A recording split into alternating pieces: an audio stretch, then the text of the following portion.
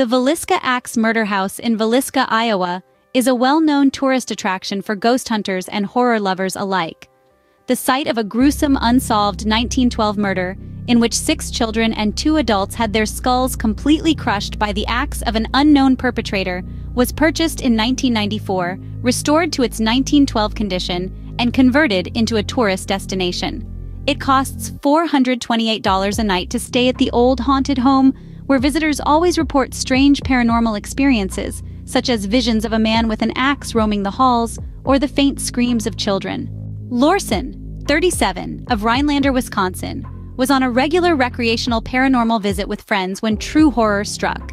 His companions found him stabbed in the chest, an apparently self-inflicted wound called 911, and Laursen was brought to a nearby hospital before being helicoptered to Creighton University Medical Center in Omaha. The Montgomery County Sheriff's Office said Laursen suffered the self-inflicted injury, which is around the same time the 1912 axe murders in the house began. Laursen recovered from his injuries but has never spoken publicly about what occurred that day.